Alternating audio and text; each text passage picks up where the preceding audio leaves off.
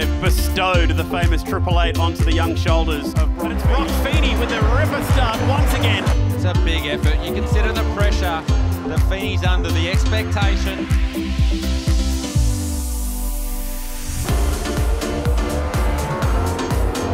Now it's Broc Feeney. And that's a great start to his 21 campaign. First in every session this weekend. He'll take the perfect 300 points and he takes another step forward to taking Jamie Whincup seat next year. Sublime effort, Broc Feeney.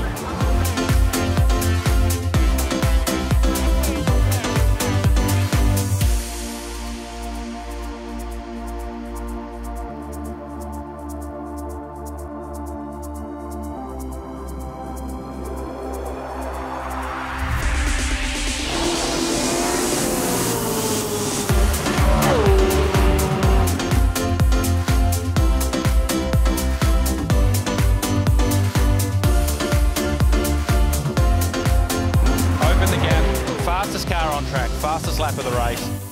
This kid, there's a lot of expectation about what he's going to be doing next year. Can just see what it means to this Triple Eight organisation who we know are so successful in the Repco Supercar Championship.